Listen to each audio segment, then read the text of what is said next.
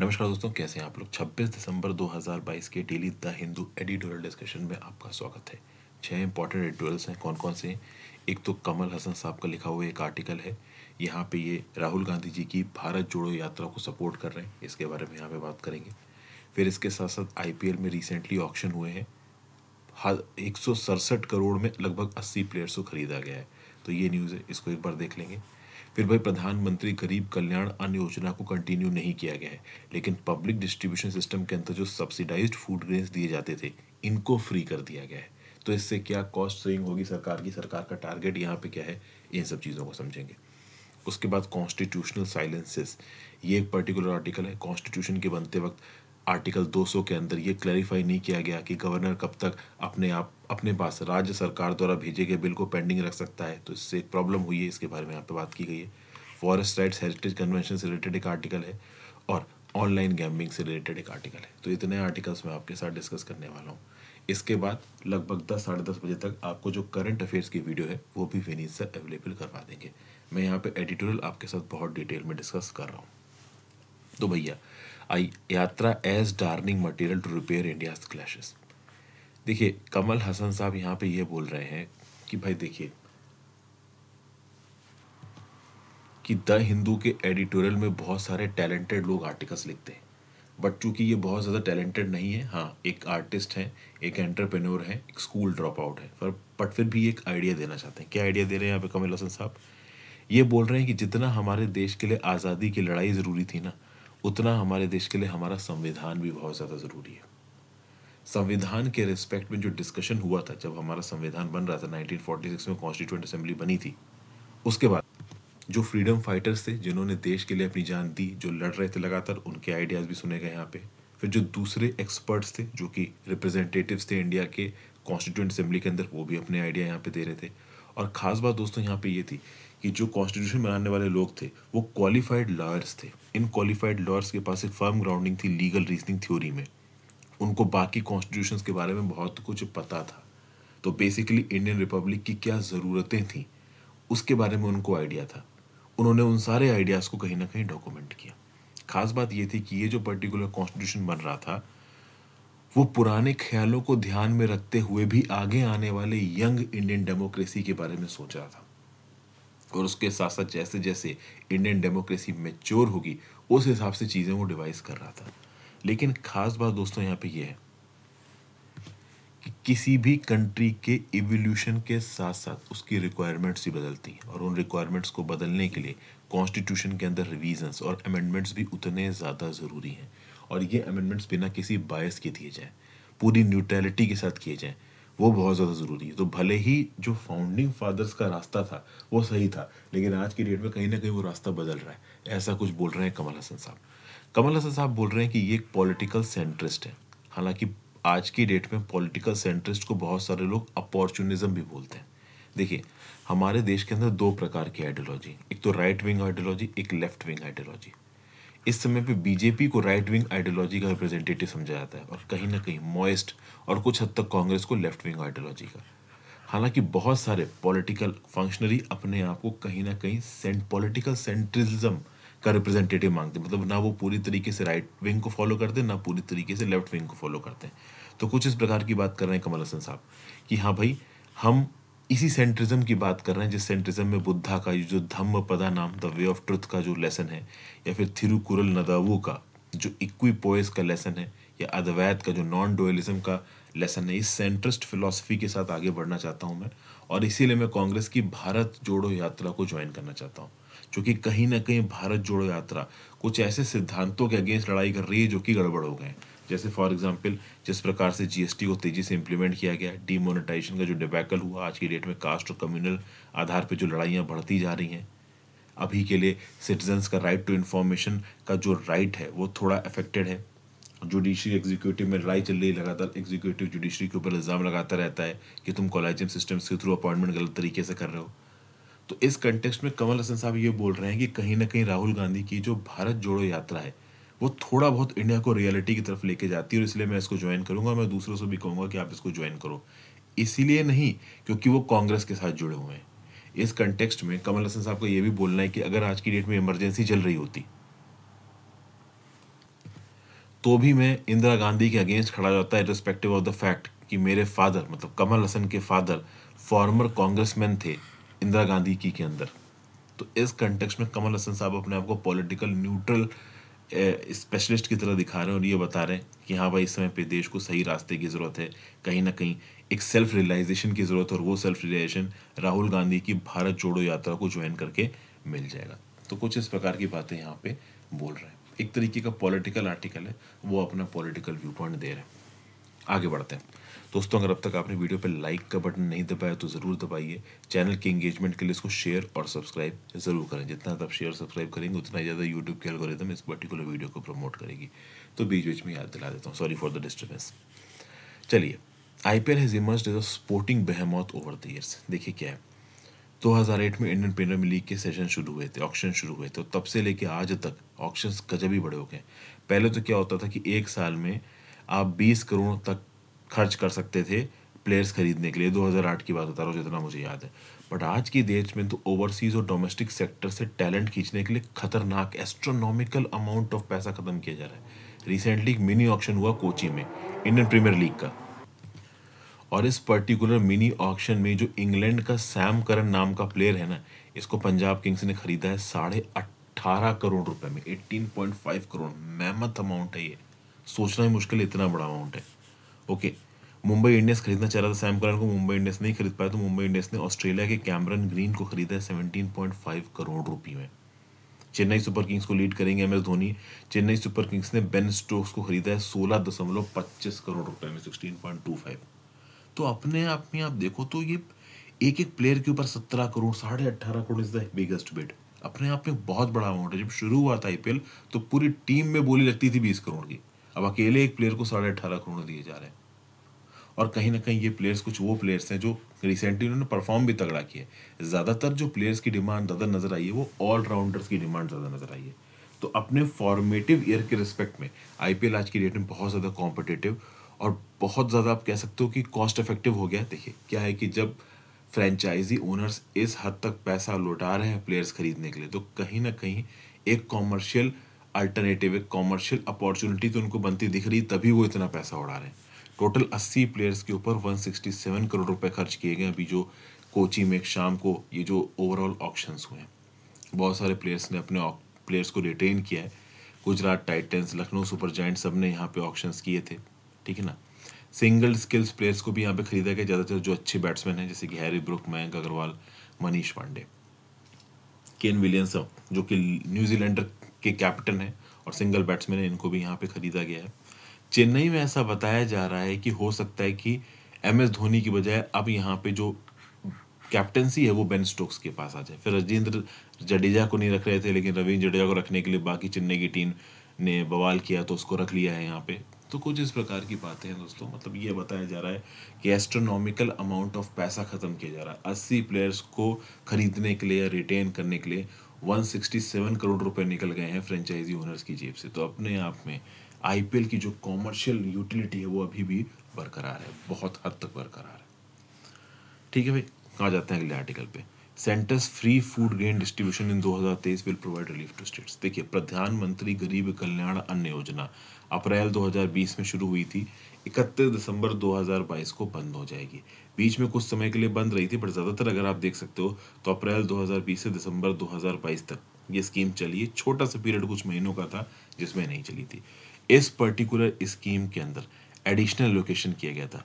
National food security act के अंदर जो पीडीएस स्कीम चलती थी, उसमें जो सब्सिडाइज फ़ूड ग्रेन दिए जाते थे, वो तो दिए ही जाएँगे। उसके अलावा प्रति महीना, प्रति पर्सन पाँच किलो फ़ूड ग्रेन एक्स्ट्रा दिए जाएँगे फ्री ऑफ़ कॉस्ट ये था प्रधानमंत्री गरीब कल्याण अन्न योजना का लॉजिक जो सबसे एक्सट्रीम पुअर लोग हैं, सबसे ज़्यादा जो गरीब लोग हैं, उनको बड़ी मदद मिली है।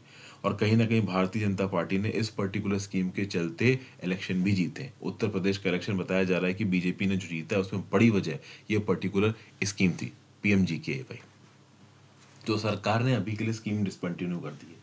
लेकिन डिसकंटिन्यू करने के साथ साथ सरकार ने यहाँ पे एक एक्स्ट्रा कैच दिया है। प्रधानमंत्री गरीब कल्याण अन्न योजना ज़रूर डिसकंटिन्यू कर दी है।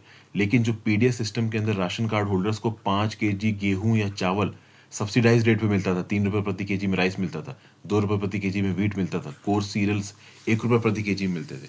फिर जो पैंतीस के का फ्री फ़ूड ग्रेन्स अन्न सॉरी पैंतीस के का जो फ़ूड ग्रेन सब्सिडाइज रेट पे अंत्योदय अन्न योजना वाले कार्ड होल्डर्स को मिलता था, ये पूरा फ्री हो जाएगा।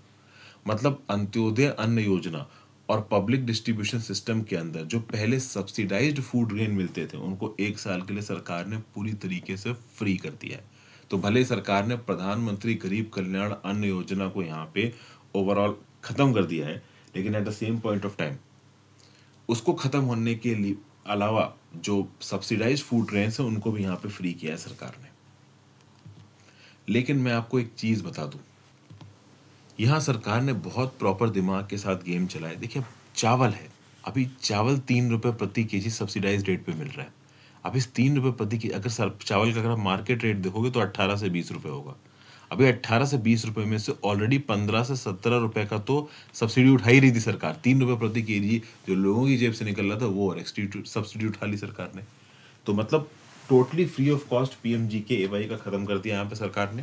लेकिन नेशनल फ़ूड सिक्योरिटी एक्ट के अंदर जो अंत्योदय योजना चल रही थी और जो पीडीएस की स्कीम चल रही थी, उसको अभी एक साल के लिए पूरी तरीके से फ्री कर दिया है। और इसके लिए कहीं ना कहीं सरकार ने दो लाख करोड़ रुपया एलोकेट किया है। एक और बात बता दूँ।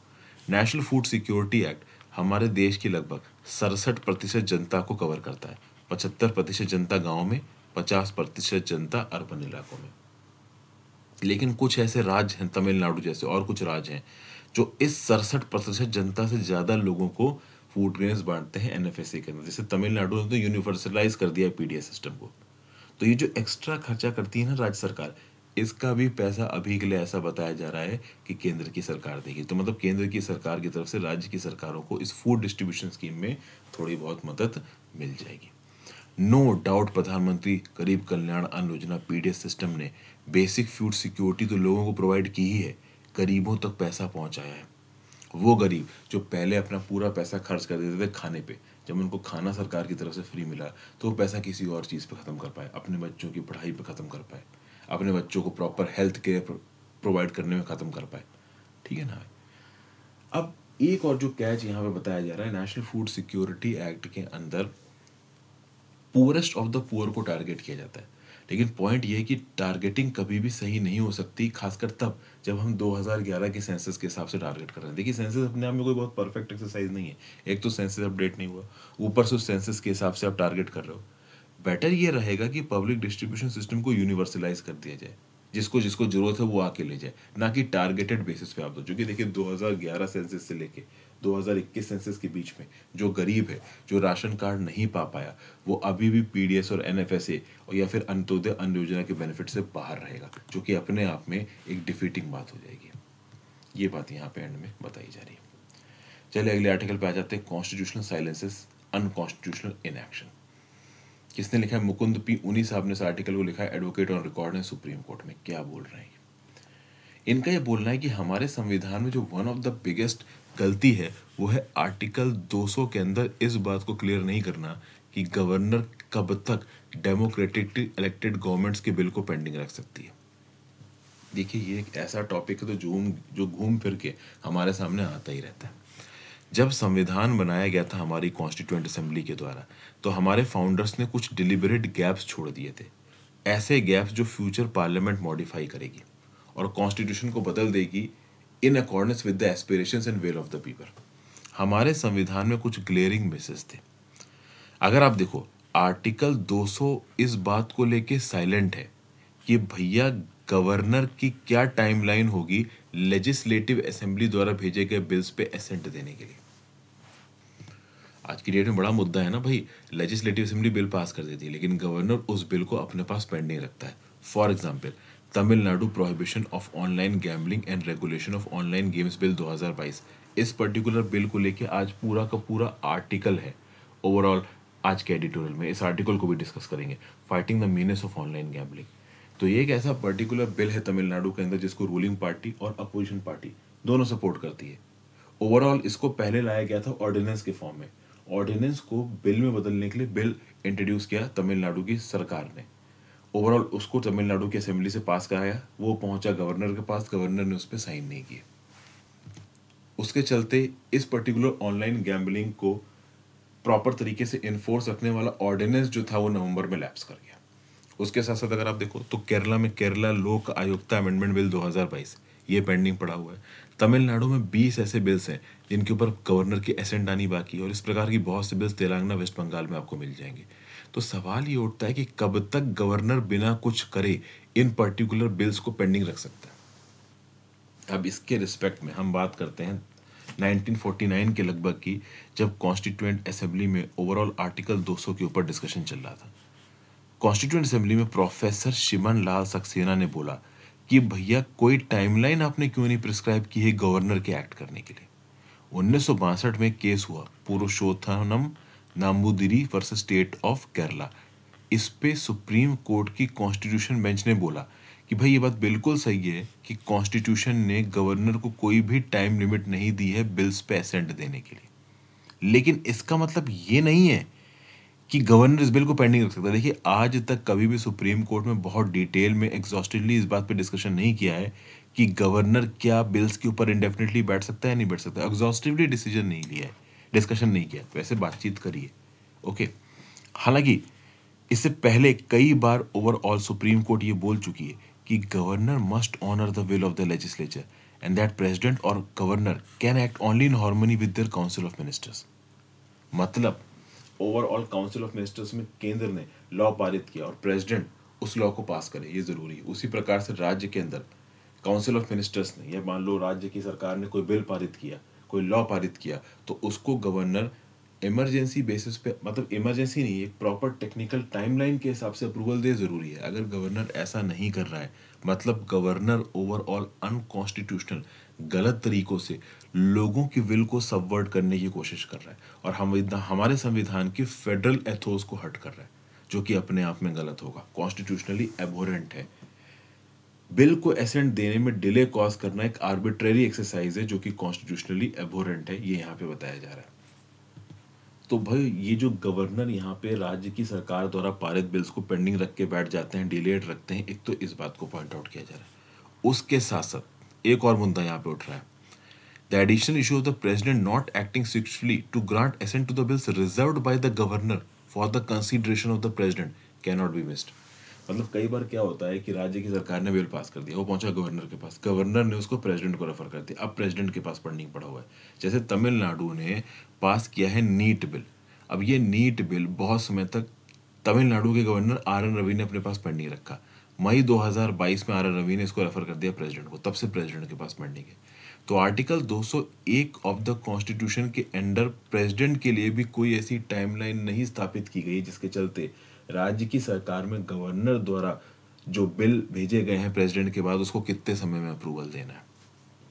समझ के बात को? हालाँकि प्रेसिडेंट अगर मान लो वापस भेजता है रिकंसिडरेशन के लिए तो राज्य की सरकार छह महीने के अंदर रिकंसिडरेशन करेगी। लेकिन प्रेसिडेंट के ऊपर किसी भी प्रकार की कोई बाउंडेशन नहीं है कि प्रेसिडेंट को कितने समय में गवर्नर द्वारा भेजे गए बिल को एसेंट देना है या रिजेक्ट करना है या वापस रिकन्सिडरेशन के लिए भेजना है, ये कहीं में भी नहीं लिखा है। तो फिर रिफॉर्म्स की यहाँ पे बात की गई। एक कंसल्टेशन पेपर रिलीज़ किया गया जिसका टाइटल था institution of governor under the constitution consultation paper किसका था? जस्टिस पी जीवन रेड्डी लेड कमेटी का था। इसमें इसने क्या बोला? That if the governor withhold assent to a indefinitely such a course will not be conducive with the decorous regard a governor respected to the rules of the constitutional game the national commission to review the working of the constitution that was देखिए क्या justice BP जीवन Reddy lead committee ने साफ़ साफ़ क्या बोला? इनका एक पेपर था institution of governor on the constitution अगर एक गवर्नर राज्य की सरकार द्वारा पारित गए बिल को प्रॉपर तरीके से सही समय पे असेंट नहीं देता या उसके ऊपर कोई एक्शन नहीं लेता है तो ये गवर्नर की जो ऑफ़िस का डेकोरम है, उसको डिस्टर्ब करने वाली बात होगी, उसको डिसऑनर करने वाली बात होगी। फिर जो national commission to review the working of the constitution NCRWC बनाया गया था अटल बिहारी वाजपेयी जी के द्वारा 2000 में, इसको लेकर लक्ष्मीकांत में एंड में बहुत बड़ा चैप्टर है। बिल्कुल मेमत चैप्टर है, चार पाँच चैप्टर के बराबर है। तो उसमें भी ये बोला गया था कि भाई एक टाइम लिमिट होनी चाहिए, जो कि लगभग आप कह सकते हो छह महीने की टाइम लिमिट हो गई, जिसमें ओवरऑल गवर्नर को डिसाइड करना पड़ेगा अगर उनके पास राज्य की सरकार की तरफ़ से कोई बिल आता है कि हाँ भाई इसको पारित करना है, या प्रेसिडेंट की कंसिडरेशन के लिए इसको रिज़र्व करना है। ओके अब सवाल ये उठता है कि आर्टिकल 200 लाया ही क्यों गया? कॉन्स्टिट्यूशन मेकर्स आर्टिकल 200 एक ऐसा आर्टिकल लेके क्यों आए जहाँ पे राज्य की सरकार के लिए गए कानूनों के ऊपर गवर्नर का एसेंट लगेगा? उसका सिंपल रीज़न ये था दोस्तों, जब हमारा देश आज़ाद हुआ था, हमारे देश में बहुत सी सेक्शनिस्ट टेंडेंसीज थी। बहुत सारे लोग अपना अपना इलाका लेकर निकलना चाहते थे। तो ऐसे केसेस में एक गवर्नर का एक राज्य में एज ए यूनियन रिप्रेजेंटेटिव रहना ज़रूरी था, ताकि कोई राज्य अपने मन मुताबिक कुछ भी करता ना फिरे। ओके सरकारिया कमीशन में बहुत सारे स्टेट गवर्नमेंट्स ने यह भी बोला था कि गवर्नर एक सेफ्टी वॉल्व की तरह काम करता है। अगर राज्य की सरकार कुछ हैंकी पैंकी करने की कोशिश करेगी, ज़बरदस्ती कुछ गड़बड़ करने की कोशिश करेगी तो गवर्नर उसको चेक कर सकता है। ठीक है? बट यहाँ पे ओवरऑल राज्य की सरकारें तो हैंकी पैंकी कर नहीं पाई, लेकिन गवर्नर ही गड़बड़ करने लगा, ये भी बोल रहा है जरा। ठीक है? सरकारिया कमीशन ने भी ये बोला था कि ठीक है भाई फेडरल इकोसिस्टम को ठीक करने के लिए आप गवर्नर अपॉइंट कर रहे हो। बट अगर गवर्नर इस प्रकार से काम करने लगे कि वो एग्जिस्टिंग प्रोसीजर को तोड़ दे, राज्य की सरकार में चुने गए इलेक्टेड रिप्रेजेंटेटिव्स अगर कोई बिल पास करा रहे हैं, उनको रोके, उसके लिए कोई टाइम लिमिट ना हो तो वो गलत होगा। इसलिए सरकारी कमीशन ने भी बोला कि जो भी बिल राज्य की सरकार द्वारा पास किए गए उनको डिस्पोज ऑफ़ करने के लिए टाइम लिमिट चाहिए। हालाँकि इस टाइम लिमिट को कभी भी केंद्र की सरकार ने इम्प्लीमेंट नहीं किया। इस प्रकार के जो कमीशन बनते हैं, वो अपनी रिपोर्ट दे देते हैं, राय दे देते हैं। राय पे एक्ट करना सरकार का काम हो तो सरकार ने एक्ट किया नहीं।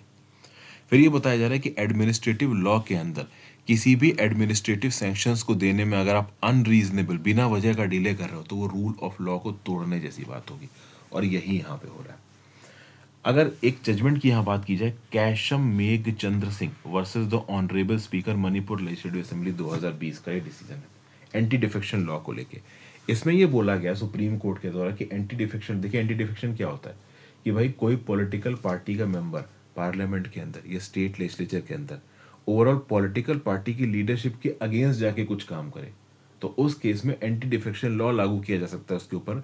उस पर्टिकुलर पार्लियामेंटेरियन को या फिर स्टेट लेजिस्लेटिव असेंबली के मेंबर को अपनी एम एल एम पी की कुर्सी छोड़नी पड़ सकती है। तो ये होता है डिफेक्शन तो ये जो एंटी डिफेक्शन लॉ है एंटी डिफेक्शन लॉ में इस पर्टिकुलर 2020 के जजमेंट में सुप्रीम कोर्ट ने बोला कि स्पीकर के एक्शन लेने का कोई टाइम फ्रेम होना चाहिए। मतलब मान लो कि बीजेपी पार्टी या किसी कांग्रेस पार्टी के एमपी या एमएलए ने अपनी पार्टी के लीडरशिप के अगेंस्ट कुछ किया। उस केस में उसके ऊपर अगर डिफेक्शन प्रोसीडिंग शुरू करनी है तो स्पीकर को एक टाइम लिमिट में डिसीज़न, डिफेक्शन प्रोसीडिंग शुरू करनी चाहिए। मतलब ऐसा नहीं है कि उसने गड़बड़ की आज 2020 में और उसके खिलाफ आप एक्शन ले रहे हो 2023 में। तो मतलब अगर डिफेक्शन हुआ है और किसी पॉलिटिकल पार्टी को लगता है डिफेक्शन हुआ है तो वो पॉलिटिकल पार्टी समय पर रिकमेंडेशन दे स्पीकर को और स्पीकर एक टाइम फ्रेम के अंदर उसके अगेंस्ट डिफेक्शन प्रोसीडिंग शुरू करेगा। तो एंटी डिफेक्शन लॉ में डिफेक्शन प्रोसीडिंग्स को शुरू करने के लिए टाइम लिमिट होनी चाहिए। ये क्लियर कट 2020 के Keisham Meghchandra Singh versus honourable speaker Manipur legislative assembly में क्लियर कर दिया था सुप्रीम कोर्ट ने। उसी कंटेक्स्ट में ऑथर कंपेयर करके बोल रहा है कि जब डिफेक्शन लॉ के लिए टाइम लिमिट सेटअप की गई है तो आर्टिकल 200 के अंदर भी टाइम लिमिट सेटअप होनी चाहिए और ये टाइम लिमिट सुप्रीम कोर्ट ही सेटअप कर सकता है। आर्टिकल 200 के अंदर गवर्नर को डिस्क्रिप्शन देना कि कितने दिनों तक भी बिल अपने पास रखे रहो, उसके ऊपर एक्शन मत लो। ये पार्लियामेंट्री एथोस के हिसाब से बिल्कुल भी सेट और फिट नहीं बैठता। फिर यहाँ पे क्वीन रेंस ये वेस्ट मिनिस्टर सिस्टम की बात करने लगी। Westminster system parliamentary system का उदय है। दुनिया भर में ओवरऑल जो parliamentary system Westminster system adopt किया गया, वो इंग्लैंड के कॉन्स्टिट्यूशन सिस्टम से अडॉप्ट किया गया। ठीक है ना भाई? उसी हिसाब से अगर आप देखो तो गवर्नर की ड्यूटी ये है कि इलेक्टेड गवर्नमेंट कॉन्स्टिट्यूशन के पैरामीटर्स के अंदर काम करे। लेकिन गवर्नर अगर ये छोड़ के ओवरऑल इलेक्टेड गवर्नमेंट के काम को मुश्किल करने लगे इलेक्टेड गवर्नमेंट द्वारा पास किए गए बिल्स को पेंडिंग रखे तो वो अपने आप में संविधान को तोड़ने वाली बात होगी। ठीक है ना? और ये अलाउ नहीं होना चाहिए। Justice V R Krishna Iyer ने Shamsher Singh and A N R versus state of Punjab में पता है क्या बोला? Maybe our founding fathers were not political prophets who could foresee clearing abuses और परवर्टेड डेवलपमेंट्स मतलब ओवरऑल हमारे constitutional fathers ने हमारे आने वाले सक्सेसर्स के हाथ में कमान तो दे दी, लेकिन उनको ये नहीं पता था कि आगे आने वाले समय में उनके डायरेक्टर्स को इतनी बुरी तरीके से अब्यूज़ किया जाएगा परवर्ट तरीके से छोड़ा जाएगा. मतलब ओवरऑल आज के डेट में जो गवर्नर्स गलत तरीके से एक्ट करते हैं अलग अलग लेजिस्लेटिव असेंबली में अलग अलग राज्यों में, वो गलत है। ओके अब इस कंटेक्स्ट में कुछ लोग अभी की रूलिंग पार्टी को क्रिटिसाइज करेंगे, लेकिन मैं आपको बता दूँ दोस्तों, पिछले तीस, चालीस साल की इंडियन डेमोक्रेसी का रिकॉर्ड उठा के देख लीजिए। जब से ओवरऑल अपोजिशन में बड़ी बड़ी जब देखिए शुरुआत में जब सरकार बनी थी कांग्रेस की तो ज़्यादातर राज्यों में भी कांग्रेस थी और केंद्र में भी कांग्रेस थी। धीरे धीरे आप देखो तो केंद्र में कांग्रेस रही, कुछ राज्यों में रीजनल पार्टीज़ आ गई। तो जब अपोजिशन की पॉलिटिकल पार्टीज़ किसी एक पर्टिकुलर स्टेट लेजिस्लेटिव में नॉमिनेट होने लगी, तब गवर्नर का जो विलन वाला रोल था, ये उभर के सामने आने लगा। इसके बारे में हमने यहाँ पे बात की। तो मतलब इस आर्टिकल का सार बेसिकली यही है कि गवर्नर के पास आर्टिकल 200 के अंदर एक टाइम लिमिट होनी चाहिए एक्ट करने के लिए। गवर्नर उसको लेके खाली बैठा हुआ है, ये नहीं चल पाएगा। एक और आर्टिकल है fighting the menace of online gambling more can be done to prevent people from falling prey to misleading advertisement ये क्या चीज़ है भाई? तो भैया, Tamil Nadu prohibition of online gambling and regulation of online games bill इसके बारे में थोड़ी देर पहले मैंने आपको बताया था। इस पर्टिकुलर बिल को भी तम, आर एन रवि साहब अपने पास पेंडिंग रख के बैठे बिल तमिलनाडु की स्टेट असेंबली से पास हो चुका है। पहले इसका ऑर्डिनेंस आया था। ठीक है ना भाई? ऑर्डिनेंस प्रोमोलकेट किया गया था एक अक्टूबर को। ओके भाई? उसके बाद ऑर्डिनेंस को, भाई देखिए, क्या ऑर्डिनेंस छः हफ़्ते छः महीने और छः हफ़्ते चलता है? टेक्निकली इस ऑर्डिनेंस को बिल में बदलने के लिए राज्य की सरकार को एक बिल पारित कराया था। राज्य की सरकार ने बिल पारित किया, गवर्नर के पास असेंट के लिए भेजा। गवर्नर ने असेंट नहीं दिया, इसको अपने पास पेंडिंग रख रखा है। अब इस पेंडिंग रखने के चलते हो गई है प्रॉब्लम। बिल हो गया, लैब्स खत्म हो गया। ऑब्वियसली बात है, वो ऑर्डिनेंस था, बिल में कन्वर्ट हुआ नहीं। बिल बाद में पास हो गया तो ठीक है बट ऑर्डिनेंस तो लैप्स हो जाएगा ना। ऑर्डिनेंस कितने दिन चलेगा? छह महीने और छह हफ़्ता। अब ये एक ऐसा पर्टिकुलर बिल था, देखिए कुछ बिल्स हैं, जैसे नीट बिल हो गया। अब नीट बिल आप कह सकते हो अपने आप में बहुत सारे देश के अलग अलग हिस्सों के लोग बोलेंगे कि तमिलनाडु की सरकार का जो नीट का स्टेप है, वो कराते है। तो इस कंटेक्स्ट में ये जो पर्टिकुलर बिल था ऑनलाइन गेम्स बिल और ऑनलाइन गैमलिंग को रोकने वाला, ये अपने आप में एक ऐसा बिल है जिसमें तमिलनाडु की रूलिंग पार्टीज़ और अपोजिशन पार्टीज़ एक दूसरे के साथ खड़ी हैं। ऐदा पद्दी के पलाना स्वामी ए आई ए डी एम के के अपोजिशन पार्टी के एक महीने पहले राज्य की सरकार से मिले थे और उन्होंने साफ़ साफ़ बोला था कि हाँ भाई इन्होंने भी अपने समय पे ऑनलाइन गेम्स के अगेंस्ट बैन लगाया था, लेकिन उस बैन को कैंसिल कर दिया मद्रास हाई कोर्ट ने अगस्त 2021 में। ऑनलाइन गेमिंग की अगर आप बात करो तो ऑनलाइन गेमिंग को बैन कर देना चाहिए। उसी प्रकार से पॉलिटिकल पार्टी तमिलनाडु की पत्ताली मक्कल काची, इसके प्रेसिडेंट है अनबू मामी रामदास। इन्होंने भी ये बोला है कि आर्टिकल 162 के अंदर डीएम के रिजाइम यानी राज्य की सरकार जो तमिलनाडु की है, उसको एक ऑर्डर पास करना चाहिए एग्जीक्यूटिव ऑर्डर और ऑनलाइन गैमलिंग को बैन करना चाहिए। हालाँकि इस प्रकार का कोई भी ऑर्डर अगर पास किया डीएमके की सरकार स्टालिन ने तो मोस्ट प्रॉब्ली उसको मद्रास हाईकोर्ट रोक देगा, क्योंकि प्रॉपर बिल को ए आई के अगस्त 2021 में मद्रास हाईकोर्ट ने रोका था तो इस बार भी रोका जा सकता है। अब इतनी अर्जेंसी क्यों है तमिलनाडु के अंदर ऑनलाइन गेमिंग को बैन करने की? देखिए सिंपल है। तमिलनाडु के अंदर डेथ्स बाई सुसाइड बढ़ रही हैं, और इन डेथ्स बाई सुसाइड का रीज़न है online gambling offline gambling reason नहीं है। पिछले डेढ़ सालों में बत्तीस लोगों की जान गई है सुसाइड से। एक मर्डर का भी केस है। और कोई भी यहाँ पे मर्डर या सुसाइड ऑफलाइन गेमिंग की वजह से नहीं हुआ है, सब ऑनलाइन गेमिंग की वजह से हो रहा है। तो ऑनलाइन गेमिंग इस समय पे अपने आप एक मिनस बन के उभर रहा है, इसको सही समय पे रोकना ज़रूरी है। घर बैठे बैठे लोग ऑनलाइन गेमिंग खोलते हैं, कुछ बच्चे पिताजी की क्रेडिट कार्ड से पैसा चुरा लिया, अपने घर में किसी से पैसा गलती से ले लिया, छुपा लिया, रात में चुरा लिया, और वहाँ पे सब हार गए जाके। बाद में समझ नहीं आया, डर नहीं लगा सुसाइड कर लिया। इस प्रकार के एक दो केस निकल के आए।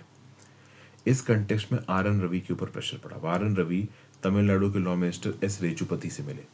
ई गेमिंग फेडरेशन के रिप्रेजेंटेटिव से मिले। अब जो इलेक्ट्रॉनिक गेमिंग वाले हैं, वो तो क्या बोलेंगे? वो बोलेंगे, हमारे गेम्स तो सही है। जैसे फॉर एग्ज़ाम्पल जो बिल पास किया जा रहा है, कौन से बिल की बात कर रहा हूँ मैं? याद रखिएगा। Tamil Nadu prohibition of online gambling and regulation of online games bill इसमें रमी और पोकर जैसे गेम्स को भी बैन कर दिया गया।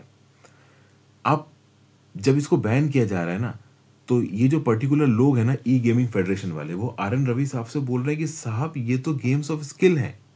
ठीक है ना? ये गेम्स ऑफ़ चांस नहीं है। तो ये गेम ऑफ़ स्किल आप कैसे बैन कर सकते हो? ये तो बिल ही अनकॉन्स्टिट्यूशनल है आपका।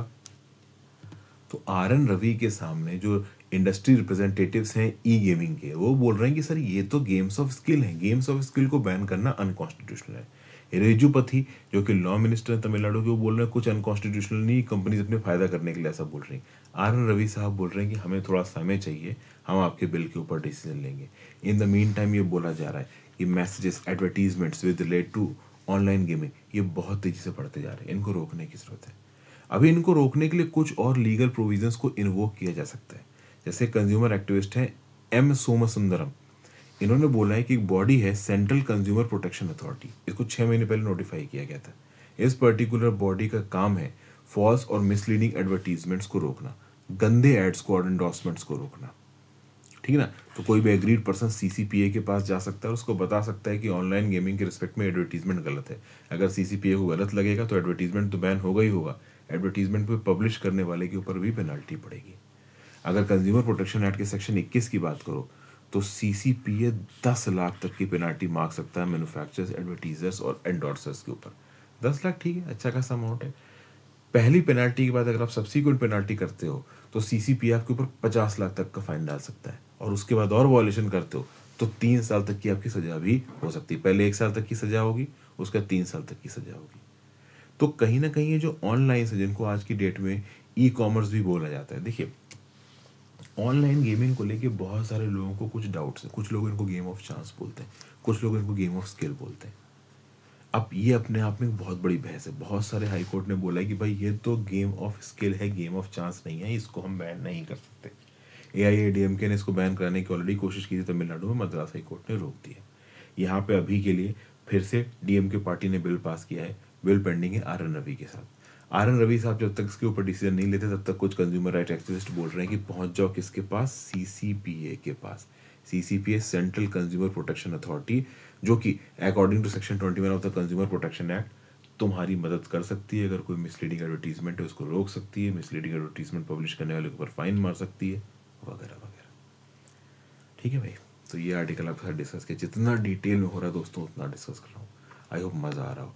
और आखिरी आर्टिकल आज का छठा article forest rights and heritage convention क्या बात की जा रही है? 2012 में यूनेस्को ने इंडिया के अंदर बायोडाइवर्सिटी के रिस्पेक्ट में वेस्टर्न घाट्स में 39 एरियाज़ को क्रिटिकल डिक्लेयर किया मतलब बायोडाइवर्सिटी के रिस्पेक्ट में यूनेस्को के हिसाब से 2012 में इंडिया में वेस्टर्न घाट्स में 39 क्रिटिकल एरियाज़ थे। 39 में से 10 तो कर्नाटका में थे। और बहुत सारे इन इलाके इसको वर्ल्ड हेरिटेज साइट भी डिक्लेयर किया है। यूनेस्को ने। अब देखिए, जब आप वर्ल्ड हेरिटेज साइट डिक्लेयर होते हैं, वैसे तो देखो प्रोटेक्टेड एरियाज़ जो इंडिया के हैं, उसमें क्या क्या आते हैं? नेशनल पार्क्स आ गई वाइल्ड लाइफ सेंचुरी आ गई रिज़र्व फॉरेस्ट आ गए बायोस्फीयर रिज़र्व आ गए प्रोटेक्टेड एरियाज़ है। इसके एक स्टेप आप आगे चले गए आप तो भैया यूनेस्को ने वर्ल्ड हेरिटेज साइट का आपको दर्जा दे दिया। अब इन जगहों पर रहता कौन है? शेड्यूल कास्ट के लोग फॉरेस्ट टेलर्स जिसमें शेड्यूल ट्राइब्स भी पाए जाते हैं, कुछ माइनॉरिटी कम्युनिटी के लोग हैं जनरल कैटेगरी के लोग हैं। हर प्रकार के लोग रहते हैं इस प्रकार के प्रोटेक्टेड एरियाज़ में, जो आज की डेट में यूनेस्को की हेरिटेज साइट्स भी बन गई हैं। अब कुछ प्रॉब्लम है दोस्तों यहाँ से। इनके हेरिटेज साइट बनने से, या उससे पहले जब ये प्रोटेक्टेड एरियाज़ भी थे, एक इशू था।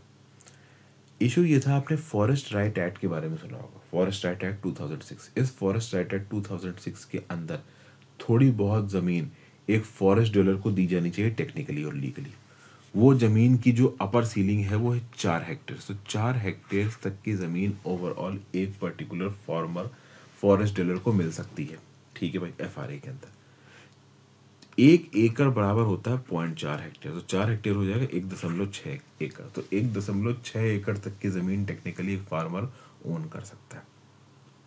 ओके ज़्यादातर जो फॉरेस्ट डीलर्स हैं, हमारे देश की फॉरेस्ट में, वो एक एकड़ से कम का इलाका ही क्लेम करते हैं, लेकिन बहुत सारे लोगों के क्लेम रिजेक्ट कर दिए जाते हैं। Forest dweller traditional forest dweller से क्लेम एसटी से दुगने रिजेक्ट किए जाते हैं। मतलब फॉरेस्ट राइट एक्ट 2006 के अंदर, ये जो फॉरेस्ट में रहने वाले लोग हैं, ये रेगुलरली सरकार के पास जाते हैं और उनसे बोलते हैं कि साहब, हमें इतनी ज़मीन दे दो एफआरए के अंदर हमारा अधिकार है। लेकिन ये क्लेम रिजेक्ट कर देती सरकार। ऐसा बता रही सरकार क्यों रिजेक्ट कर रही? फ्रेश इंक्रोचमेंट्स मतलब सरकार का बोलना है कि ये लोग ट्रेडिशनली यहाँ पे नहीं लिख रहे हैं। ये जो लैंड ये क्लेम कर रही है, इनके नहीं है तो हम इसको नहीं दे सकते। दूसरा, ये जो लैंड क्लेम कर रहे हैं, ये पैसारी भूमि यानी वेस्ट लैंड है फॉरेस्ट लैंड है। ये बेसिकली प्रोटेक्टेड फॉरेस्ट का लैंड नहीं है, इसलिए हम इसको लैंड नहीं दे सकते। फिर कई बार क्या होता है कि एक ही फैमिली के बहुत सारे मेंबर्स एकदम से साइमल्टेनियसली एप्लीकेशन डाल देते हैं। तो फॉरेस्ट वाले बोलते हैं कि एक ही फैमिली के मेंबर अलग अलग एप्लीकेशन डाल के ज़्यादा इलाका अपने पास खींचना चाह रहे हैं। ये हम नहीं दे सकते। कुछ लोग इस बात का प्रूफ नहीं दे पाते कि वो पिछले पचहत्तर सालों से इन्हीं जंगलों में रह रहे हैं। तो इन सब बहुत सी वजहों से ओवरऑल फॉरेस्ट राइट एक्ट 2006 के अंदर जो ड्यू अधिकार है इन लोगों का, ज़मीन का, वो इनको मिल नहीं पाता। है और उसमें एस और जो फॉरेस्ट ड्वेलर्स हैं ना, वो बहुत ज़्यादा आपके लो अफेक्टेड है। रेगुलर बेसिस पे ये परेशान है यहाँ पे।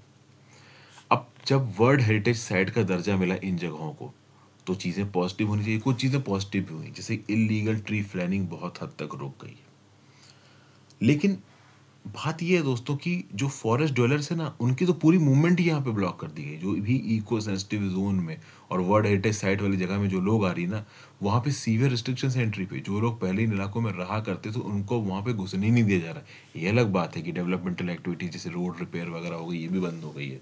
किसी प्रकार का शिकार बंद फर्टिलाइजर्स का यूज़ अनसस्टेनेबल एग्रीकल्चर ये सब कहीं ना कहीं बंद किया गया है। जो बेसिक ज़रूरतें होती थी, पेड़ काट के अपना घर बनाने की ट्राइबल्स की, वो भी बंद कर दी गई है। फॉरेस्ट फेलिंग गिर गई है। But at the same point of time इतना एक्सेसिव रिस्ट्रिक्शन लगाने की ज़रूरत नहीं, खासकर उन लोगों के लिए जो कि कई सालों से यहाँ पे रह रहे हैं। Plus overall intensive land utilisation के चलते एनिमल इंसर्जेंसी है। पहले ओवरऑल देखो तो जो फॉरेस्ट ड्वेलर्स थे ना, इनके इलाकों में बहुत ज़्यादा मंकीज और स्नेक्स नहीं आते थे। लेकिन चूँकि अर्बन एक्सपेंशन हो रहा है तो आसपास की पेरीफेरी में जो हैबिटेट था, वो कम हो रहा है। तो आसपास के जंगली जानवर जैसे कि मंकी स्नेक्स वो कोर फॉरेस्ट इलाके में घुस रहे हैं, जहाँ पे ट्रेडिशनल हंटर गैदरर्स और आप कह लो फॉरेस्ट डोलर्स रहा करते थे। प्लस विलेजेस के पास जो फॉरेस्ट है फॉरेस्ट के पास जो विलेजेस है, वहाँ पे लाइफ स्टॉक ओन करना भी मुश्किल है। मतलब भीड़, बकरियाँ, जानवर पालना मुश्किल है, क्योंकि आसपास जो शिकारी है, वो बहुत घूमते रहते हैं। प्लस ये भी बोला जा रहा है कि जहाँ जहाँ पे इरिगेशन प्रोजेक्ट चलाए गए, उन इरिगेशन प्रोजेक्ट को चलाने के लिए फॉरेस्ट काटा गया। तो आसपास जो ग्रेजिंग लैंड थे, जिन ग्रेजिंग लैंड्स को अपने लाइफ स्टॉक को चलाने के लिए इस्तेमाल करते थे, वो फॉरेस्ट लैंड वो ग्रेजिंग लैंड ज़बरदस्ती सरकार ने हाथी ली तो बेसिकली अगर आप देखो तो एफआरए की जो फैसिलिटी थी, जो ड्यू राइट था लोगों का, वो उनको टेक्निकली मिल नहीं रहा। और अगर आप देखो तो कुछ जगहों पे लोग सेटल्ड हैं एफ़ के अंदर। अब वहाँ पे लोग क्या कर रहे हैं? बहुत सारे बड़े बड़े इंडस्ट्रीज़ तो सरकार रीसेटलमेंट का पैकेज दे रही है कि हाँ भाई, यहाँ से निकल के दूसरी जगह चले जाओ। अब मान लो एक पीसी पर्टिकुलर एफ़ वाले गाँव में अस्सी लोग रहते हैं। उसमें से तीस चालीस लोग सरकार का रीसेटलमेंट लेके बाहर जाने को तैयार है। लेकिन बाकी तीस चालीस लोग तैयार नहीं तो बाकी तीस चालीस लोग इस बात पर टेंशन में होंगे कि आधा गाँव चला गया तो बाहुबली आके हमें मारपीट के आधे को तो निकाल ही देंगे। और वो अपनी जो हेरिटेज जगह है, उसको छोड़ना नहीं चाहते। तो इस कंटेक्स्ट में ओवरऑल ये जो वर्ल्ड हेरिटेज साइट्स वाली जगह है, जो कि पहले प्रोटेक्टेड एरियाज़ थी नेशनल पार्क थे वर्ल्ड सेंचुरीज थी डेजर्ट फॉरेस्ट थे प्रोटेक्टेड फॉरेस्ट थे, आज वो वर्ल्ड हेरिटेज साइट्स बन गई हैं। ज़रूरी ये है कि वहाँ पर ग्राम सभा की इंपॉर्टेंस हो, लोगों की मूवमेंट को ज़्यादा ब्लॉक ना किया जाए। वहाँ की जो बायोडाइवर्सिटी कंजर्वेशन कर रही है अलग अलग एजेंसीज वो लोकल लोगों के साथ मिल के करें, इनके ऊपर स्पेशल ध्यान दिया जाए। ये फॉरेस्ट डलर्स हमारे लिए इतने इंपॉर्टेंट है। फर्टिलाइजर्स का यूज़ नहीं होना चाहिए इन जगहों पर मोबाइल फोन्स का यूज़ नहीं होना चाहिए। सूटेबल पैकेज होना चाहिए।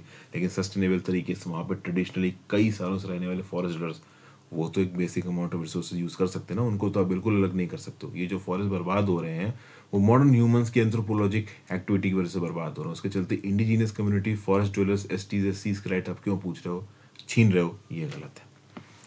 तो ये था आज का एडिटोरियल डिस्कशन दोस्तों। आई होप आपको मज़ा आया। थैंक यू फॉर वॉचिंग ज़्यादा से ज़्यादा लोग लेक्चर शेयर कर देना। अपनी ऊपर नीचे कमेंट बॉक्स में देखे जाना। इंस्टाग्राम फॉलो करना। टेलीग्राम